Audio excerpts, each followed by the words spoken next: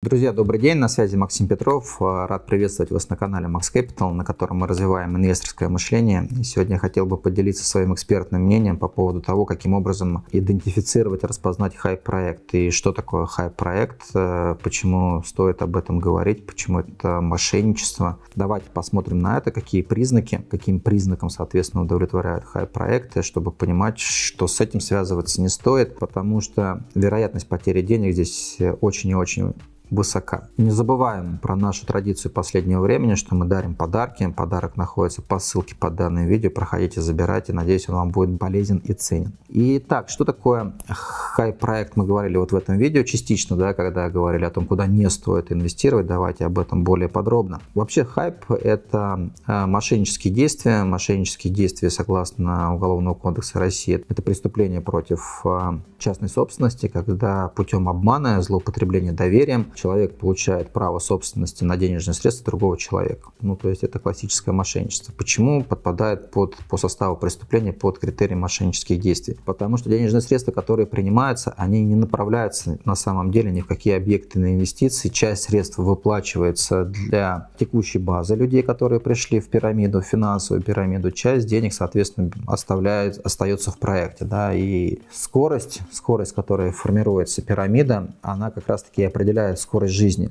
хай-проекта. Но про то, каким образом это работает и почему это не стоит делать, мы уже, соответственно, про это поговорили. Еще раз напоминаю, ссылочка вот на этом видео.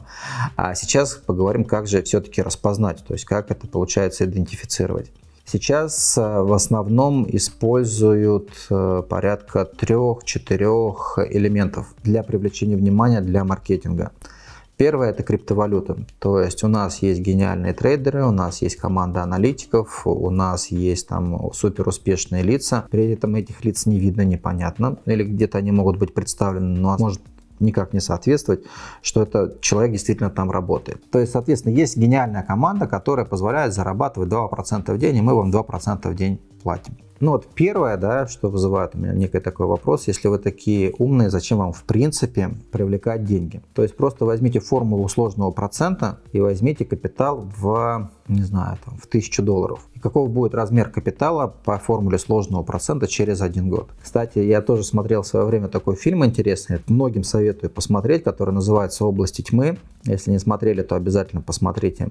Брэдли Купер там играет, да, то есть э, все говорят, блин, мне бы такую гениальную таблетку, да, которая там ускоряет работу мозга до 100%. И вот э, если посмотреть весь фильм, с чего он начинается, как он развивается, чем заканчивается, причиной основной проблемы главного героя было то, что он у какого-то, ну мягко это назовем, да, э, неадекватного человека взял деньги. Почему он взял деньги? Потому что его научили торговать, он там делал какие-то сверхвысокие результаты, и он пришел и этого человека взял займы 150 тысяч долларов, потому что, видите для него это было слишком медленно. Даже я без употребления данного рода таблетки понимаю, что разумно не связываться с какими-то криминальными структурами, чтобы получить деньги для операций на фондовом рынке, а если ты зарабатываешь, там, удваиваешь счет каждый день, то, в принципе, при его размере капитала на тот момент, ему для того, чтобы удвоиться, нужно было там порядка одной недели даже меньше. И тогда, если ты такой умный, зачем тебе связываться и просчитать такие риски?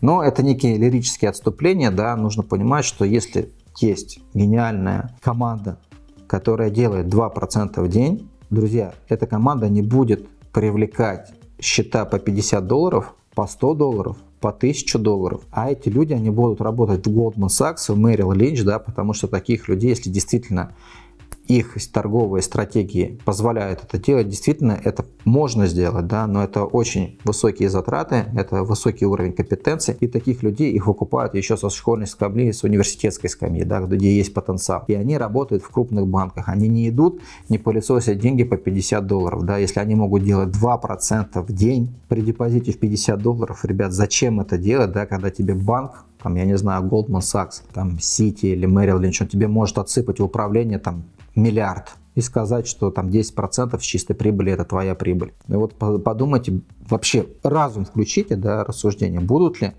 в этом случае эти люди работать там с людьми, которые привлекают на депозит по 50 долларов. То есть первый признак это высокая норма прибыли. Там механика устроена таким образом, чем на более длительный срок ты размещаешь, тем большую доходность ты получаешь. Ну, условно, размещаешь на месяц, будешь получать, там, я не знаю, 10%, а если разместишь на год, получишь 24% в день. И формально они как бы начисляются, но их вывести нельзя, можно вывести только через год. И получается, что опять-таки вот эта вот жадность, да, она приводит к тому, что формально они видят, что на счете как бы баланс-то прибавляется. И он такой, ух ты, я большое количество миллионов уже на счету имею. И где-то там за 1-2 месяца до окончания депозита происходит скам, да, то есть и ничего нет. И люди еще пополняют этот депозит, как правило. Кто-то говорит о доходности 10%, кто-то говорит о доходности там 8%. Поэтому доход... первое, что меня всегда подозревает, это доходность.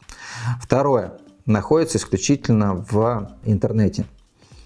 Все встречи, все коллаборации происходят в интернете. Как правило, нет адреса. Как правило. Это не значит, что адреса может не быть, потому что можно купить фиктивный адрес, но, как правило, адресов, адресов не бывает.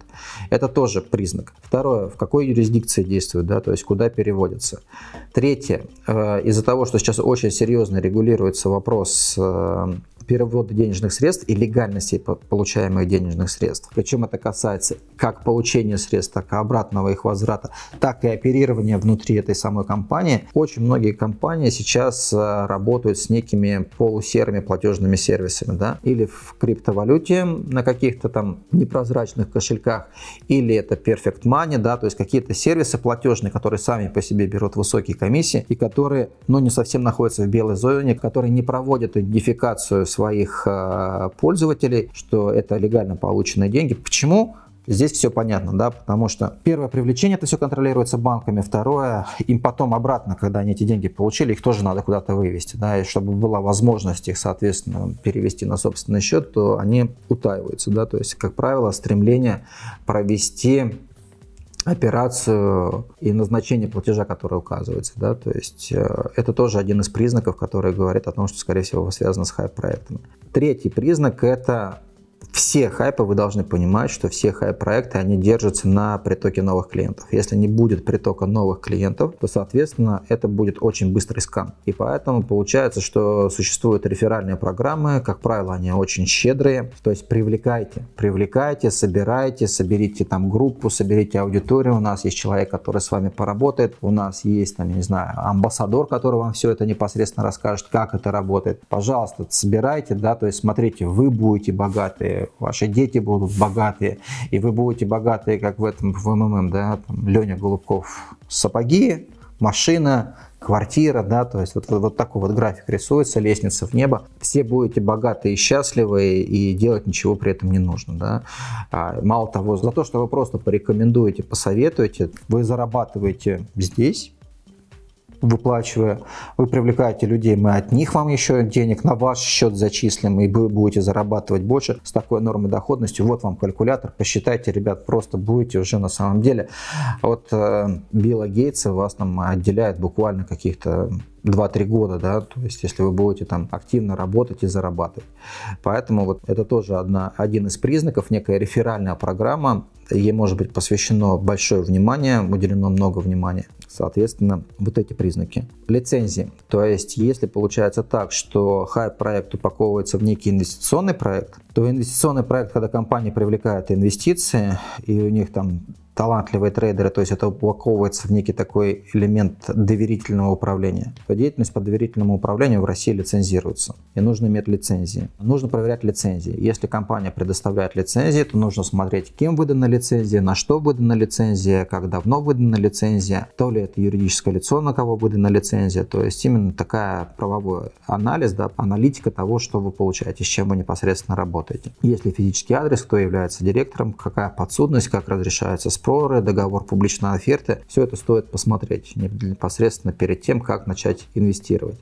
Но это, наверное, основные характеристики. Самое простое, что называется, когда прилетают мне, там есть люди, которые, там, мои друзья, что скажешь про это, что скажешь про это. Как только я видел доходность больше 1% в день, ну, 365 минимум процентов годовых без учета капитализации. Есть, просто заходите в Яндекс, в Яндексе есть, забиваете в Яндексе, в Гугле, забиваете в поисковике монитор хайпов. Есть люди, которых штырит эта тема, которые считают, что они за, на этом очень много заработают. Эти люди создают прям отдельные мониторы хайпов, а, в которых вы просто берете адрес строки в интернете хайп проекта и в монитор хайпа его забиваете. Соответственно, монитор хайпов вам будет выдавать, э, что за проект, когда зарегистрирован, когда начал работать, как давно существует, платит, не платит, соскамился, не соскамился. То есть в большинстве своем а, в мониторы хайпов да, проекты попадают достаточно быстро, потому что, еще раз говорю, есть люди, которые отдельно по этому поводу, это, как правило, математики,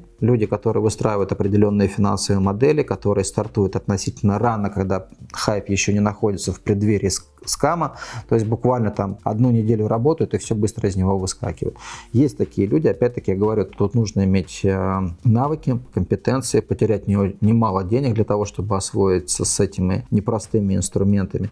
Но как подспорье Действительно, может быть хорошая история. Монитор хайпов. Заходите на... Их не так много хороших, качественных. В выдаче они там первые пять, по-моему, идут. Не рекламные. На монитор хайпа запуска... забиваете адрес э, в сети интернет хайп проекта и получаете анализ и оценку. Если не нашли на мониторе хайпа, берем предыдущие пункты, которые я сказал, норма доходности, куда инвестируют, как лицензируется, есть ли физическое присутствие или нет, есть ли реферальная ссылка, реферальная программа.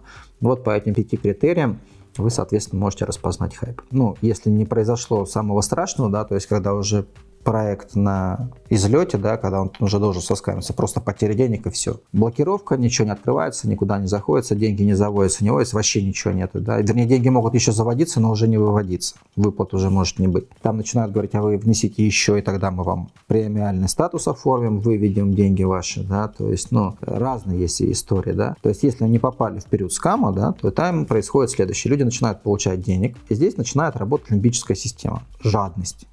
То есть человек, так, если я получаю, ну платит же, вот я завел там 10 тысяч рублей, мне с 10 тысяч рублей там заплатили 5% за день. За день. Получил 500 рублей завтра, получил 500 рублей послезавтра. То есть в общей сложности там за 5 дней человеку заплатили 2500 рублей, 25%. И он такой, так, а если я 100 тысяч заведу, это что, мне 25 выплатит?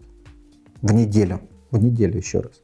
Опа, выплачиваю 25 за неделю за месяц ему заплатили 100. Он такой, так, я 100 вложил, и за месяц мне еще 100 выплатили. То есть, если я сейчас пойду возьму кредит, миллион под залог своей квартиры, то я в месяц буду получать миллион а за год я получу 12 миллионов. И я быстренько закрою кредит, но дело в том, чтобы дойти психологически до того, чтобы инвестировать миллион, ну, то есть люди все равно же, помимо жадности, есть еще и страх. И, соответственно, получается, что страх все равно присутствует, потому что где-то рациональное начало человеку все равно говорит, слушай, блин, come on, 5% в месяц. Сбербанк дает там 9% от 10 миллионов рублей депозит на 3 года, а тебе тут за один день дают 5%, за два дня 10. То есть в Сбербанке нужно вложить 10 миллионов на 3 года, чтобы получить сопоставимую норму прибыли. А здесь за два дня ты это получаешь. И поэтому так это и происходит. То есть сначала по реферальной заходит.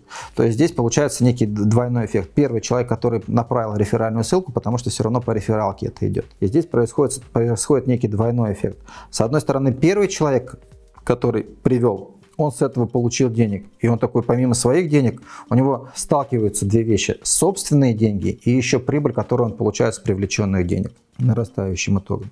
И вот это вот в голове, что я сейчас до миллиона доведу, буду получать по миллиону в месяц, его просто разрывает, особенно у людей, которые доходы не очень высокие, да, особенно у людей, которые связаны с э, жизненными трудностями. У них получается уровень знаний, компетенции, образования недостаточен, и у них жадности гораздо больше, у них порог принятия решений, когда они получают реальные выплаты, то они очень быстро разгоняются. Они разгоняются сами, и, как правило, они находятся в таком окружении, которое позволяет им рассылать эти реферальные ссылки, потому что они показывают, говорят, ну вот, смотри, вот же, вот, вот, вот, вот, вот, вот я получил. Хочешь выведу?